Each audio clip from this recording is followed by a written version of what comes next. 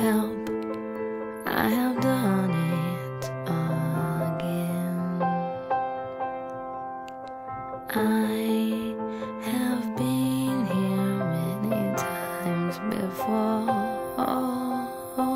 hurt myself again today. And the worst part is there's no